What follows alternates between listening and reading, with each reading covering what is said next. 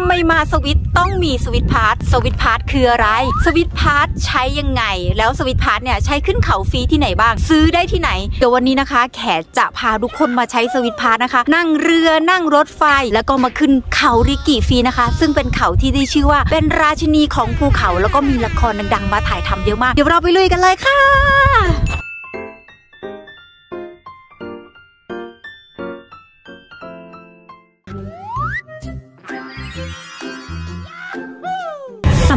ขึ้นเขาริกิคุงนะคะ ไม่ว่าเราจะอยู่ส่วนไหนของประเทศสวิตเซอร์แลนด์นะคะ ให้เรานั่งรถไฟมาที่สถานีรถไฟลูเซนที่อยู่ตรงนี้นะคะ ซึ่งพอเราออกมาจากสถานีรถไฟแล้วนะคะก็ให้เราเดินตามผู้คนตรงนี้ได้เลยค่ะก็เพราะว่าทางออกนะคะ มันจะมีอยู่แค่ทางเดียวนะคะ ก็คือด้านหน้าตรงนี้นะคะ ซึ่งสำหรับใครที่มีสวิตพาสนะคะ สามารถนั่งรถไฟข้ามเมืองมาตรงนี้ได้ฟรีค่ะ ซึ่งวิธีเดินทางไปขึ้นเขาริกิเนี่ยมันก็จะสามารถไปได้หลายเส้นทางนะคะ แต่สำหรับเส้นทางไปวันนี้นะคะ แขกจะเลือกเดินทางโดยเส้นทางเรือ ซึ่งเราจะเห็นป้ายเรือตรงนี้นะคะ อยู่หน้าสถานีรถไฟเลย ให้เราเดินออกไปตรงนี้นะคะ ตรงทะเลสาบตรงนี้ก็จะเป็นท่าเรือเลยค่ะ นี่นะ สถานีรถไฟอยู่ตรงนี้ท่าเรือก็อยู่ตรงนี้นะคะ ทุกคนสามารถเดินได้แค่ประมาณ 1-2 นาทีก็ถึงแล้วค่ะ ถึงแล้วค่ะทุกคนสำหรับใครที่มีสวิตพาสนะคะ สามารถนะคะเดินขึ้นเรือได้เลย เดี๋ยวเจ้าหน้าที่เขาจะมาตรวจทิเกตอีกทีค่ะ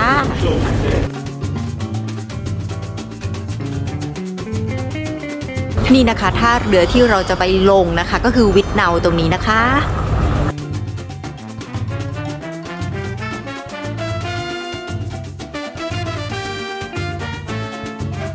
มีข้อแนะนำว่าใครที่นั่งเรือนะคะ จากลูเซิร์นที่จะไปวิสเนานะคะ จะใช้เวลาทั้งหมด 1 ชั่วโมง ให้เรานะคะ มาแวะถ่ายรูปตรงธงสวิตตรงด้านนี้นะคะ เพราะว่ามันจะสวยงามมากๆ อันนี้เป็นจุดที่ห้ามพลาดเลย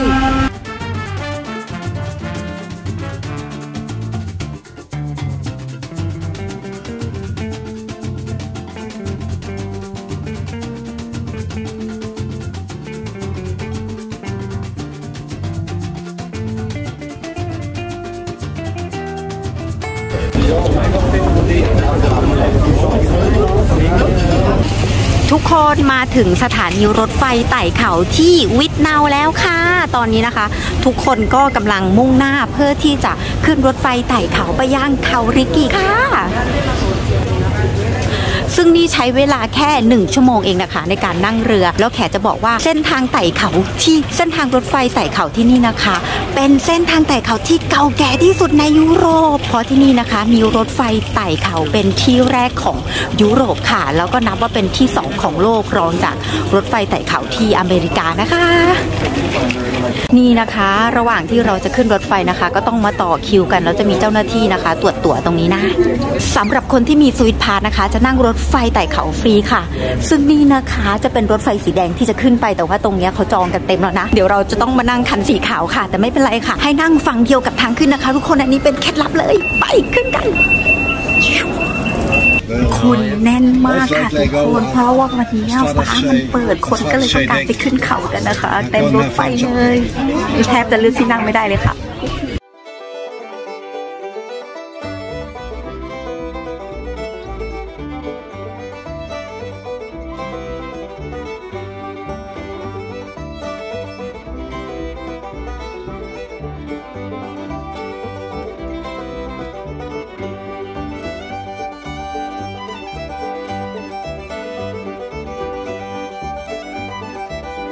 นี่นะคะทุกคนมาถึงสถานีรถไฟริกิคุมแล้วค่ะ ซึ่งอยู่ตรงนี้นะคะ เราใช้เวลาในการเดินทางมาทั้งหมดประมาณ 30 นาทีค่ะแล้วบรรยากาศตรงหน้าสถานีรถไฟก็คือ ดีงามมากๆค่ะทุกคน มันเลิศมากๆเลย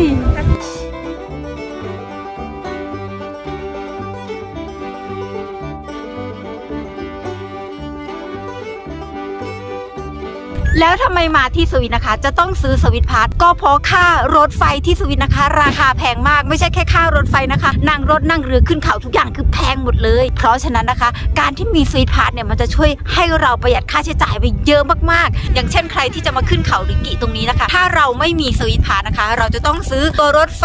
เรือแล้วก็ตั๋วขึ้นมาขึ้นเขาอีกทีนึงนะคะ แล้วจะต้องเสียทั้งหมดเนี่ยไปกลับอยู่ประมาณ 60 ฟรังก์ ซึ่งตีเป็นเงินไทยก็ประมาณ 2,200 บาท แต่ถ้าเรามี Swiss Pass นะคะ เราจะสามารถมาขึ้นเขาริกิตรงเนี้ยฟรีค่ะทุกคนแล้วทุกคนลองดูสิว่า มันสวยงามแค่ไหนของฟรีมันก็มีของสวยค่ะที่สวิสแล้วไม่ได้ขึ้นเขาฟรีแค่ที่ริกิอย่างเดียวนะคะ เรายังสามารถขึ้นเขาที่ลูเซิร์นเนี่ยฟรี3เขาก็จะมี Stanserhorn ซึ่งเป็นกระเช้าเปิดประทุนแล้วก็ยังมีรถไฟเล็ก ๆนะคะ ที่แบบสวยงามมากๆ แล้วก็จะมีอีกหนึ่งเขาที่ฟรีก็คือเขาที่ Stoos นะคะ ซึ่งเป็นหมู่บ้านเล็กๆ ที่น่ารักมาก ๆ และอีกเขาหนึ่งที่สามารถใช้ Swiss Pass ขึ้นฟรีได้นะคะ ก็คือเขาที่หมู่บ้านเมอร์เรนค่ะ ซึ่งมีความสูงจากระดับน้ำทะเลเนี่ยอยู่ประมาณ 1,600 กว่าเมตรนะคะ ซึ่งแขกบอกเลยว่าหมู่บ้านเมอร์เรนเนี่ยมันสวยงามทุกฤดูเลยค่ะ เพราะฉะนั้นนะคะ ทุกคนถ้ามาสวิสเนี่ยซื้อ Swiss Pass เถอะค่ะ มันคุ้มมากๆ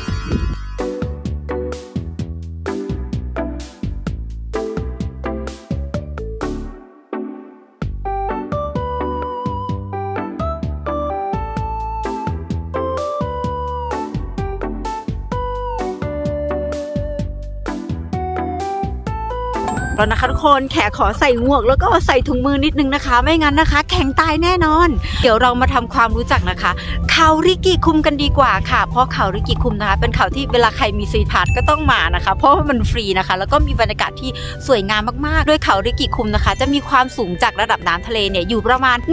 1,798 เมตร ก็คือเกือบ1,800แล้วนะทุกคน เวลาเราขึ้นมาบนนี้นะคะ เราจะสามารถมองวิวได้แบบ 360 องศาเลยเพราะว่าตรงนี้มันเป็นที่โล่งๆเลยค่ะ เราจะสามารถมองเห็นวิวได้แบบสวยงามมากๆ โดยวิวที่สำคัญตรงนี้เลยนะคะ เราจะสามารถมองเห็นทะเลสาบนะคะ ลูเซิร์นทะเลสาบซุกแล้วก็ทะเลสาบ Lauerz นะคะ แต่ว่าวันนี้นะคะเราอาจจะมองไม่เห็นนะคะ เพราะว่าอะไรรู้ไหมเพราะว่าวันนี้มันมีทะเลหมอกค่ะทุกคนลองดูดิทะเลหมอกทั้งวันเลยมันสวยงามมากๆ คือข้างล่างเนี่ยมันจะเป็นอากาศแบบว่าเทาๆนะคะ แต่ว่าข้างบนเนี่ยฟ้ามันจะเปิดแล้วก็สวยงามมากๆ อันนี้แนะนำเลยค่ะ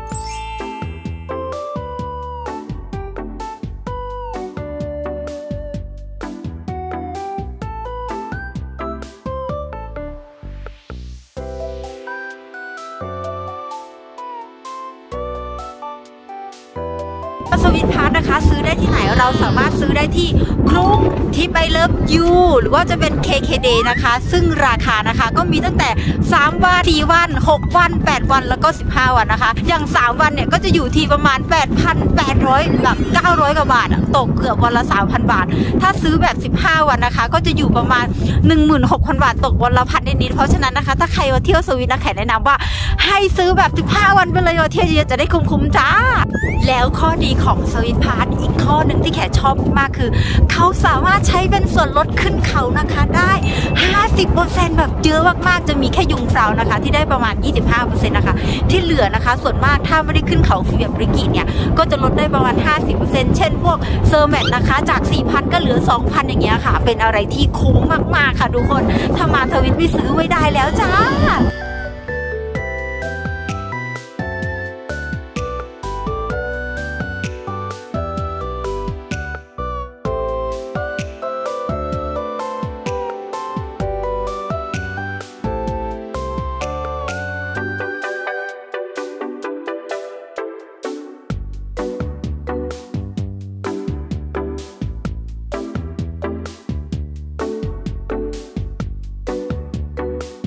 ทุกคน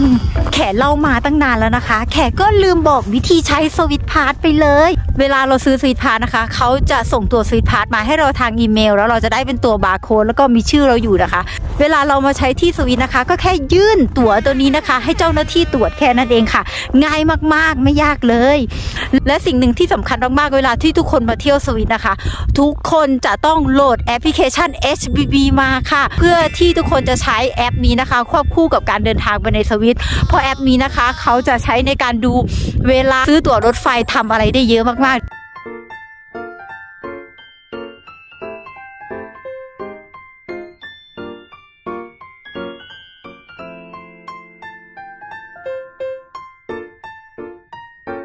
ำหรับวันนี้นะคะ แขกก็จบการเที่ยวริกิคุม ฟรีด้วยสวิตพาร์ทแค่นี้นะคะ เพราะว่าตอนนี้แขไม่ไหวแล้วอากาศมันหนาวมากๆ แต่ว่าขอจบด้วยวิวสวยๆ ตรงนี้นะคะ เป็นวิวที่แบบเราจะเห็นริกิคุมได้แบบ360องศาแล้วข้างล่างเนี่ยก็จะเป็นสถานีรถไฟที่คนเขาจะรอกลับกันนะคะ ซึ่งแขลืมบอกไปนะว่าการที่จะมาริกิคุมเนี่ยเขาจะมาได้ทั้งหมดหลายเส้นทางโดย 2 เส้นทางที่แขแนะนำคือ ตอนมาเนี่ยให้เรามาทางเรือแล้วก็ขึ้นรถไฟมาแต่ตอนกลับนะคะนะคะ ให้นั่งรถไฟสีฟ้านะคะ ลงไปทางอากาดาว จากนั้นก็นั่งรถไฟอากาดาวไปที่ลูเซิร์นนะคะ ซึ่งใช้เวลาใกล้เคียงกันไม่นานมากอะไรอย่างเงี้ยก็เป็นวิธีที่แขแนะนำนะคะ ทุกคนยังไงนะคะ จบทริปเรื่องสวิตพานจบทริปกับริกิคุมแค่นี้นะคะ แขไม่ไหวแล้วไปก่อนค่ะบ๊ายบาย